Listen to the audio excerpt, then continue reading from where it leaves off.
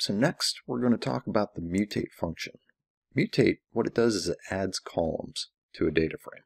It's a very useful function. Uh, you will end up using it all of the time. So to get started, we'll, we'll take the bike order lines tibble, and we're going to first select it down just to reduce the number of uh, rows that we're going to be dealing with. So say we wanted to do an analysis related to the prices uh, on our order line. So every order line, we wanted to analyze, analyze the prices. We could select maybe the order date column, the model column, and then we could select quantity and price. So we've got the quantity and the price here. And um, one thing we might want to do is use a mutate. And we've seen this before uh, where we, we calculated a total price column, which is the total on the order line, which is the quantity times the price. So what this mutate does is it'll add that new column, quantity asterisk for multiply and price. So quantity times price and we've got now a, a new column called total price. Okay, so let's save this as um, a new uh, variable. We'll call it bike order line order lines prices because this is all the information related to prices. Hit Alt dash. I'm going to save this. It's now up here, and we can see that it's five variables. If I output that, this will be our bike order line, just the prices. All right, so that is just adding a column.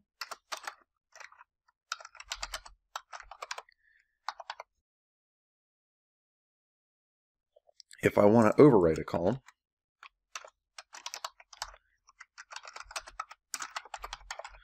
what we can do is we can take that bike order lines prices and do another mutate, and this time what we can do is take the name of that column and we can overwrite it. So say I wanted to convert that total price to a log of the total price. Now it's in log format. And notice that though that if I just send that total, that bike order lines prices back to the console, the actual data over here has not been overwritten yet. However, when I run it through, if I were to save this as if I were to um, save this as bike order line prices again, then this would overwrite. So it's only overwritten when the um, uh, once we save it to a variable. So it actually makes it very useful for iteratively um, creating new columns. So we could do another column. Uh, so we could we could do uh, log total price. Um, we could do uh, total price squared or the square root of total price. So if I do log total price, and I'm going to save this as total price, we'll say log at the end. Whoops, missed my parenthesis here. Okay, so total price log. So this will actually add a new column. So now we have total price, total price log, And if I wanted to do total price square root, we can do total price. And we can raise this to the 0.5. And now we have the square root of the total price. So overwriting columns, what you're going to do is just do that mutate with uh, the, the column name, so total price, and then overwrite it to whatever you want. So we did log total price. And then keep in mind though, once you overwrite that column, all these other operations, so this is the log of the log of total price now, and this is the square root of the log of total price. So that's not typically what you want. But overwriting columns, you just rename that column, uh, or or you uh, provide it the column name. and uh, do whatever transformation on that column that you want to do. And then if you want to do mathematical operations, it's very easy to do transformations. So these would be transformations.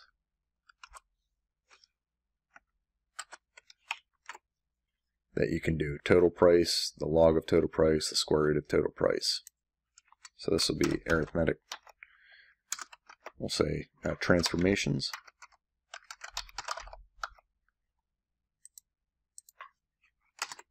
Okay, so this is overwriting that column, and this is performing transformations on that column. Okay, so um, mutate. One other thing I want to show you is uh, very common that I do. I'll add flags. So we can do that with a mutate. So for example, um, adding a flag uh, is just the idea of adding a binary feature that uh, is just a true false, yes or no. Did this happen or did this not, not happen? So bike, if I do my bike order lines prices, which is just our subset data frame, where we just took five of the columns that are related to prices. And I could add a flag here uh, if I'm analyzing these orders and I want to know is is this a um, Super 6 model, for example. So if I do mutate, and I can do is Super 6, and we can see right here there's a Super 6 model that should get flagged. This one's a Super 6. And that's the variable that I'm going to add. And I'm going to provide it a series of operations. So I'm going to take that model column and what I'm going to do is pipe it into str underscore to lower. So you'll see what this does here. It just converts everything to lower. And then what I'm going to do is pipe it into another function called str detect. And I'm going to type super 6. So what this does is then um, converts it to logical. Uh, it, it's detecting whether or not super 6 is present over here. And um, you can see in a few cases so right here's a true there's a true there's a true. Um, so we can see just even in these first 10 rows that super 6 is, is pretty frequently found. Um, and we can also even use this new column to filter. So I can just pass is super 6 and now we filter down to any models that have super 6 in the um, and we can see that 1500 of them are returned. Okay. So those are the basics of the mutate function. There's a lot of uh, vectorized functions that you can use. Um, we'll go over more throughout the course, uh, but these are some of the this is some of the basic concepts that you're going to be doing.